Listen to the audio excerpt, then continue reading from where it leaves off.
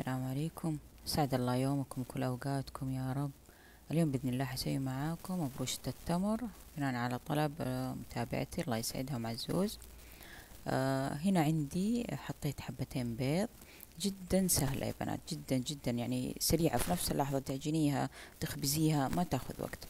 آه حطيت زي ما شفتوا حبتين بيض حطيت فانيليا استخدمت أنا هنا السائلة حطيت نص كاسة سكر قياسي بهذه الكاسة نفس الكوب المعياري 200 ملي أنا أحب أستخدم هذه الكاسات حق إيكيا اللي هي الكاسات البلاستيك. أحب أستخدمها في المعيار لأن معيارها مضبوط فمعتمدته دائما وحطيت زي ما شفتوا كاسة سمن. آه بالنسبة للدهن اللي حتستخدميه يا إما تستخدمي كله سمن أو كله زبدة أو تخلطي بين سمن وزبدة آه سمن وزيت زبدة وزيت بس ما تستخدمي زيت لوحده. لأنه ينشف العجينة. خلاص اتفقنا. إذا في الدهن آه نفس الكلام اللي قلته. تخلطي بين الزبدة والسمن إذا تحبي أو سمن لوحده وزبدة لوحده أو تخلط الزيت يا مع السمن يا مع الزبدة بس مو لوحده زيت. آه وهنا قلبت المكونات بعد ما ضفت السمن. كمية السمن يا بنات ما هي كثيرة يعني تشوفوها كثيرة لا. لأنه الدقيق حستخدم ثلاث كاسات. وطبعا ما في موية. استخدمت هذا السمن. أنا سمن المراعي من أفضل الأنواع اللي أستخدمها أنا. يا مراعي يا فار. مرة حلو في الحلويات حتى في أنواع الرز الكبسات. أحب يعني لما يكون كبسة أستخدم معاه سمن ما أستخدم زيت زيتون. حطيت هنا ثلاثة كاسات دقيق نخلتهم زي ما شفتوا وملعقة صغيرة baking powder صغيرة اللي هي ملعقة الشاهي. طيب لأني ما أبغى ينتفخ زي الكيكة لا. حلو لما يجي آه يعني قوامه كذا آه نحيف مو منتفخ. آه وبعدين خلاص آه أقلب مو أعجن يا بنات. العجينة المبروشة أو أي عجينة pie عموما اللي بنفس الطريقة هذه لا تعجني أو لا تبالغي في العجن. يعني لا تحطيها في العجانة وتعجن تعجن لا. آه عشان ما تنشف. زي كذا تقليب. وحتنعجن معاكي شايفة؟ ما استخدمت عجانة أبدا أنا. ولا يدي بال الملعقة هذه السيليكون. شايفين؟ خلاص أقلب إلين تجتمع كل المكونات وخلاص حتكون معاكي عجينة. لأن اعتمدنا في العجن على السمن فقط. شايفين؟ هذه النتيجة. طبعا ما تخمر على طول أشتغل فيها. بس حآخذ ربعها زي كذا وأحطها في كيس وأدخلها الفريزر تجمد. عشان أقدر أبشرها على الوجه. زي كذا حطيت الجزء هذا زي ما شفتوا أدخلها الفريزر. طبعا يا بنات أنا مشغل الفرن على حرارة مية وثمانين زي الكيك تعاملي مع درجة الحرارة. خلاص أخذت صينية البايركس. أنا عندي هذا المقاس الكبير لأني أبغاها تكون نحيفة. إذا تحبيها متينة يعني كل واحد ورغبته صغر الصينية بس أنا حابة أنها تكون سخيفة كذا. لما أقطعها ما أبغاها مرتفعة. خلاص فردت العجينة. طبعا ما أدهن الصينية ولا شيء كفاية ما شاء الله كمية السمن اللي في العجين ما حتلصق. أنا حستخدم التمر المعجون هذا. الأفضل إنك تحطيه في الثلاجة من قبل عشان يكون سهل تقطعيه بالسكينة. أنا هنا كان برا فتغلبت في فرده. حتى ما قدرت أحطه يعني ممكن في كيس بطبقتين كذا وتفرديه لكن ما انفرد لأنه مرة لين. ف وما ما قدرت أخلي العجينة خفت إنها تخمر فعلى طول بديت أشتغل بالتمر. حطيت في يدي شوية سمنة وآخذ قطعة قطعة كذا أفردها وأحطها. ممكن يا بنات تستبدل التمر بمربى. مرة يطلع لذيذ. مربى مشمش مربى تين مربى فراولة اللي تحبي أي نوع مربى. على طول يعني تخرجي من العلبة وتفردي بدل التمر. التمر إذا تحبي تضيفي له منكهات براحتك. جوزة الطيب بهار المعمول هيل قرفة. بس أنا اكتفيت بنكهة الفانيليا اللي في العجين. ما حبيت يعني نكهة ثانية تطغى. زي كذا شايفين أبشر بما إنها في الفريزر. فبسرعة حتنبشر معي كأنك تبشري جبنة. بسرعة حتنبشر.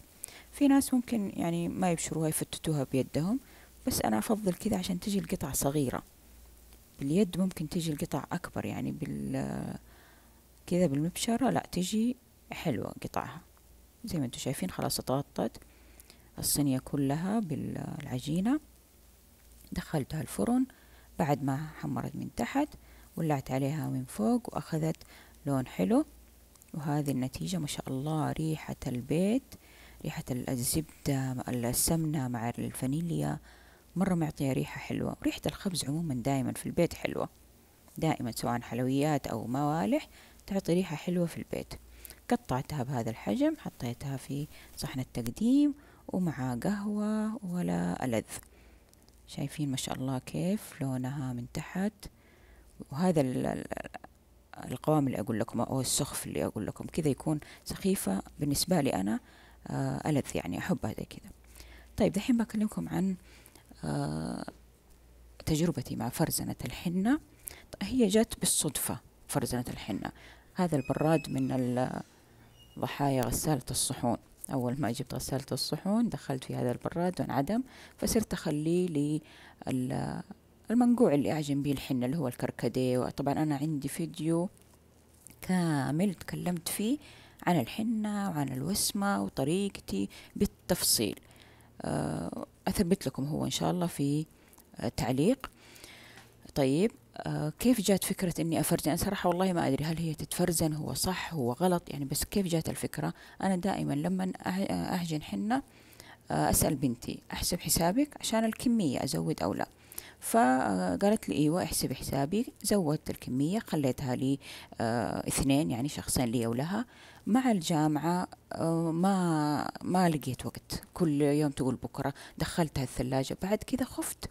رجعت حطيتها في العلبة ودخلتها الفريزة قلت يعني حرام تخرب. خفت إنها تخرب. آه حتقعد في الثلاجة وحتخرب. آه وصراحة متعوب عليها يعني.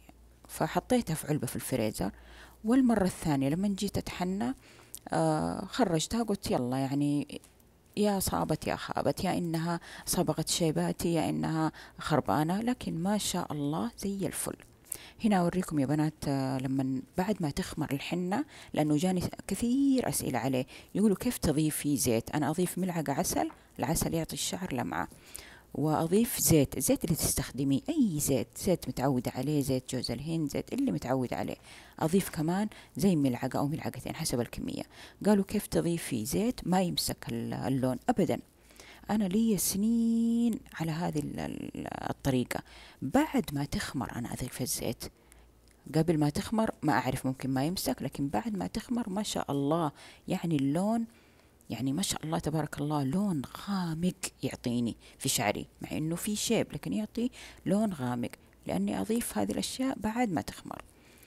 آه خلاص زي ما أنتم شايفين أحطها زي كذا في علب وأدخلها الفريزة. آه قبل ما أتحنى يعني من الليل أنا مثلا في نيتي بكرة أتحنى من الليل أخرجها قبل ما أنام برا. وثاني يوم ما شاء الله ألقاها مفكوكة ودافية وحلوة ما شاء الله وزي الفل ما شاء الله تبارك الله. يعني عادة أنا كل ثلاثة أسابيع كل شهر آه، أتحنى وأحط الوسمة. آه، بس صراحة النتيجة جدا ارتحت. صرت لا صرت الآن بقصد إني أعجن وأحط لي صراحة أسهل من إني كل مرة آه، يعني أعبي الخلطة وأغلي وما أدري إيش المكونات هذه. فحسيت إن الشيء هذا أسهل لي. فصرت أكرره بس حبيت أقول لكم تجربتي لأن في ناس ما شاء الله أنا عارفة أنهم آه على طول يحنوا شعورهم فممكن هذه الطريقة تسهل عليك الموضوع وكذا يكون وصلنا لنهاية الفيديو. أتمنى يكون أفدتكم بشيء بسيط. والسلام عليكم ورحمة الله وبركاته.